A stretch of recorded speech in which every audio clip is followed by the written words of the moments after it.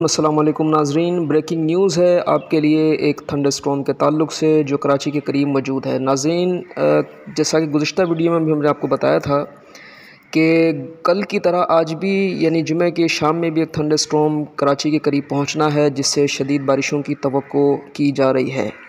तो ये thunder storm Karachi से करीब है और हमारी तलात के मुताबिक, इस वक्त हाईवे, नूरियाबाद और बहरिया टाउन वगैरह में तेज़ हवाओं के झक्कड़ चल रहे हैं और बूंदाबांदी और बारिश के सिलसिले जारी हैं।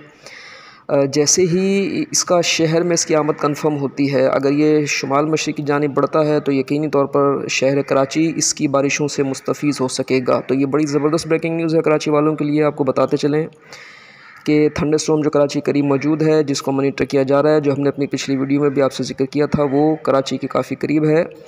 और अगर ये शुमाल मशरक़ की जानब मूव करता है, इसमें शिद्दत आती है तो यकीनी तौर पर शहर कराची के अंदर भी तेज़ बारिशें देखने को मिलेंगी। वरना आज की रात कम अज़ कम बूंदाबांदी की तो ज़रूर है और आज की रात और कल का दिन कराची में बारिशों के हवाले से बहुत ज़्यादा अहम है। अपना बहुत ख्याल रखिए बिला वजह अपने घरों से ना निकलिए, बच्चों का ख़ास ख्याल रखिए।